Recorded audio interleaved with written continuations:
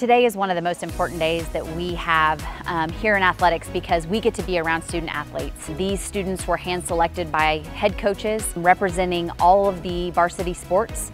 We just want to empower and educate these student athletes so that they can take back the lessons that they've learned today and understand that their influence has an incredible amount of power on their teams and power in the community to influence people in a positive manner.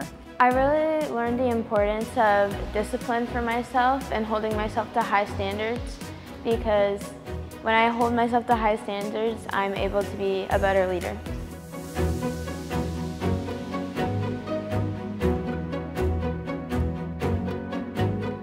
So today we talked about integrity, we talked about service before self and excellence uh, here in their teams and at school and in the community and just even like when they're at McDonald's with their friends, hanging out, having a meal, um, everything counts because everything communicates. So people in that restaurant see them and how they interact with the employees, how they interact with each other, and how they interact with the other patrons in the restaurant. And so that's really important, I think, as leaders to understand like, hey, everything we do communicates something to other people, and that matters for our team and our school and our community.